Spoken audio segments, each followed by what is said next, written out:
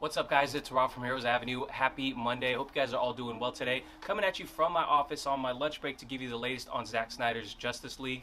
Now, we're going to get into the rumored release date for Zack Snyder's Justice League and the potential conflicts uh, surrounding that in just a second. And that's this is a that was a big topic itself. But I do want to start off with the biggest controversy on Twitter right now, and it has to do with Steve Weintraub from Collider. Now, before I get into that, please do give this video a like, subscribe to the channel if you haven't already. Really do appreciate your support. Um, but yeah, let's go ahead and get into this first story right here. And uh, I have for you right here uh, a post from the playlist says Zack Snyder had left Justice League in 2017 because he had no energy to fight WB over the film. Links to an article. And Steve Weintraub posts a laughing emoji or a, a laughing gif of Ryan Gosling laughing. No context uh, out there. Now, Twitter is absolutely losing its mind, especially Zack Snyder fans are losing their mind over the fact that he posts this gift of Ryan Gosling laughing under an article where uh, Zack it kind of highlights Zack Snyder and his his situation, especially the loss of his daughter and how he had to be with his family. And obviously, a lot of people are are up in arms about Steve's response, especially uh, you know kind of a uh, a bigger journalist out there in, in terms of his, his reach, you know, especially on Twitter. But uh, it is absolutely nuts the way he responded to the fans. I'll get to that in just a second. But uh, yeah, of course, Twitter piled on top of him uh, for this response. And to be honest, when I look at this, obviously it's a tasteless response. Um, even though I don't think in his heart of hearts is he was really uh, trying to insult uh, the man for his grieving about his daughter. I do believe uh, Steve is a fan of Man of Steel and Zack Snyder. He's interviewed him in the past. So I don't believe that was in his true intentions. Uh, but uh, obviously, a lot of people don't believe that. They believe the opposite of that. They believe he was really laughing at him. But whatever the case, Steve didn't put any context into this GIF, which is totally his fault. And instead of apologizing and explaining himself, he goes on the attack instead of the defensive. Um, so let's go ahead and check out what he had to say about this. And uh, uh, so Darren saw this tweet before me, and Darren tweeted out, Frosty, this is not going to end well. And indeed, it doesn't end well because when you go on to his Twitter, he posts two responses to this, or two tweets. He says, My least favorite people on Twitter are the Snyder bros who think they know everything about the making of Justice League. Let me be clear, I look forward to seeing the new four hour cut of Justice League. I'm sure it will be a better movie. And his second tweet says, but a lot of stuff was going on when that movie was being filmed and edited, and it still hasn't come out. One day, maybe it will. I've been doing this job for 15 years, and you're coming at me like I just joined the internet and don't know what I'm talking about. So there was his response, and obviously he went on the attack, attacking Snyder fans. Again, if, if I was him, I would have just apologized and explained, hey, I wasn't laughing at that. I was laughing at whatever he was laughing at. Um, but the problem with his response is the fact that you are editor in chief of Collider, one of the the biggest outlets to to laugh and um, laugh off the Snyder Cut fans. They were the biggest, you know, them and everyone who worked there were the biggest people laughing at us and telling us that this never existed. There's no way. The cut doesn't exist. We'll never get this. It is a pipe dream. A lot of that stuff came from Collider. So for you to be saying, um, uh, a lot of people don't know what's really going on. You know, us fans knew what was going on, fought for it, and got the win. So a lot of these news outlets still can't take an L, and a lot of these journalists can't take an L. Um, kind of report, they're either jumping on the bandwagon or they're continuously uh, hating on you know what's coming out, trying to tell us that hey, you're not getting the cut you were promised or whatever, whatever. Um, but yeah, that's the problem. Is is the fans knew what's up. The fans followed the stories. They followed the clues that Zack left, and um, you know we were right the whole time. So for you to say, you know, a lot a lot was going on, and and a lot hasn't come out yet. Hey, you might either want to elaborate on what hasn't come out yet, um, or offer some clue as to what you're talking about. Because right now you look like a fool, uh, to be honest. Um, you should have just apologized and said, hey, I wasn't laughing at suicide. I wasn't laughing at that. Instead, you go ahead and attack the fans for you know, rightfully assuming that you're laughing about the dude's grief, the dude grieving for his, uh, you know, his deceased daughter. So, that's my two cents on it. So let me know what you guys think about the whole Steve Weintraub situation. It's you know it's really it's kind of funny because you know it's it's not funny that that a person was potentially laughing at suicide, but it's funny the way he responded. Because um, obviously you should have just apologized. Um, but that was that's that's me. That's that's what I think. Let me know what you guys think about this situation. Let's go ahead and and check out what Grace Randolph had to say. So apparently she was reacting to a Godzilla vs Kong trailer, which was pretty cool.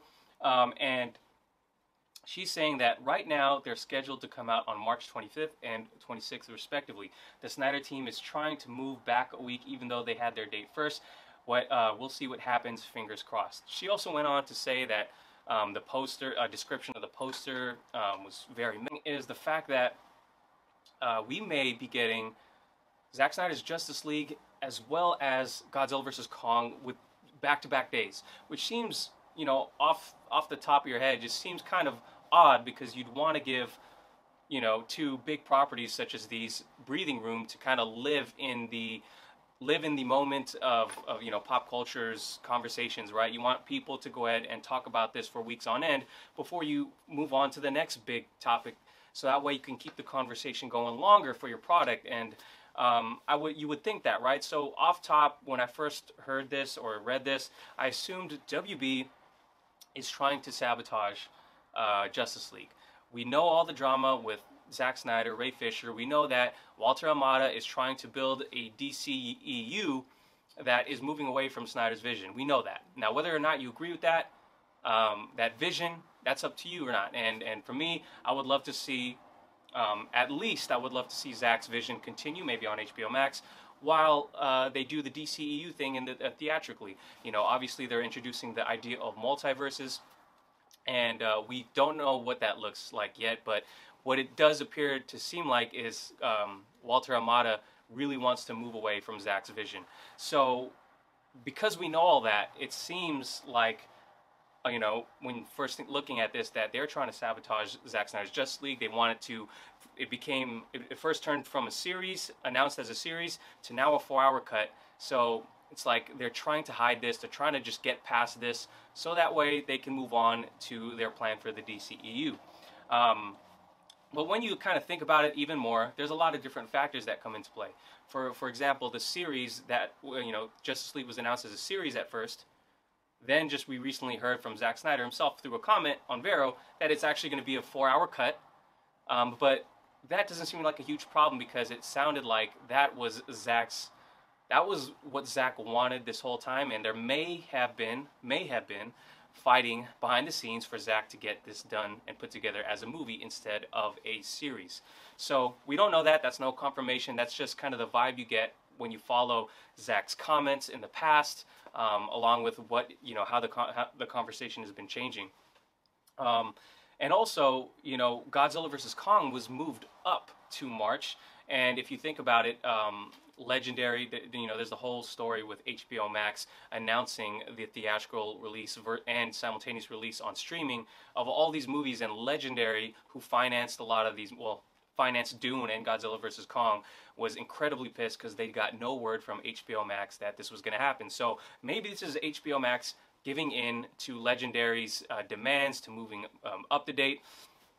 Um, and they wanted a specific date, and it just happened to be when Zack Snyder's Just League is coming out. So there's there's those factors that come into play. Who knows whether or not it's actual sabotage or um, or you know, uh, maybe there's other thinking. I'm really curious to know what you guys think about this situation. Why would there be two movies coming out back to back? Maybe the thinking is that, hey, this is a streaming service and things can live on, live on streaming simultaneously. You know, we could sit down and watch, uh, binge watch the four hour cut of Justice League and then watch Godzilla the next day and it'll be no problem for consumers, especially because it's streaming. It's not like we're living, we're watching this in theaters when theaters, uh, you really got to uh, allow um, a window of viewing time for the audience.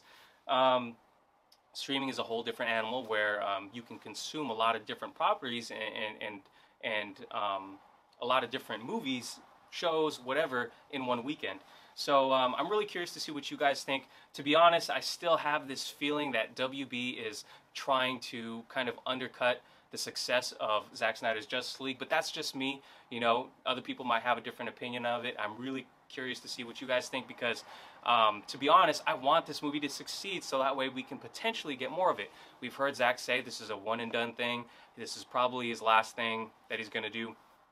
But um, I do think success can change the conversation, and I want this movie to, succeed.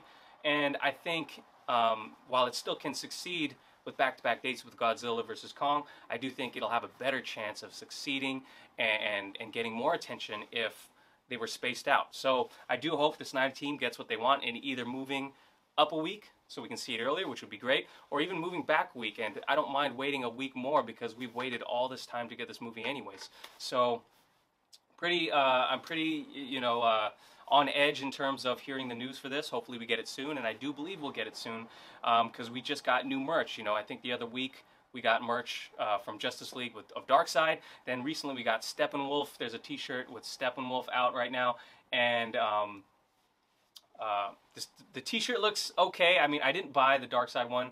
I didn't think it looked very, very good, to be honest. And I don't think the Steppenwolf looks very good either. It looks like a, a graphic that um, was put together really quick. I do think Zack's own merchandise that he sold on Into the People looked much better than this. So yeah, that's what I think.